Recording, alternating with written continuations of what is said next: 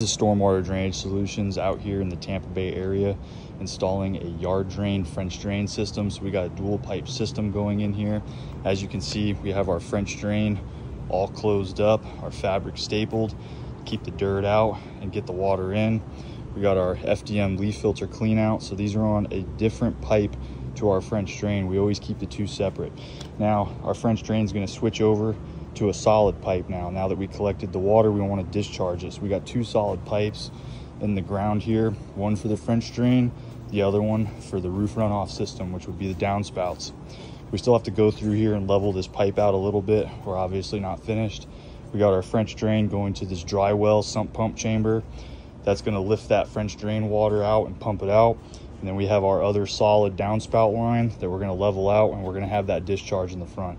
So with downspouts, we can get those discharged a lot easier than a French drain because downspouts work off of head pressure. That water falls down the downspout and it pushes out.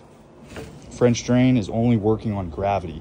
So French drains are gonna work more slowly and you need a lot of fall in order to get a French drain to discharge properly. So whenever in doubt, you put the sump pump in.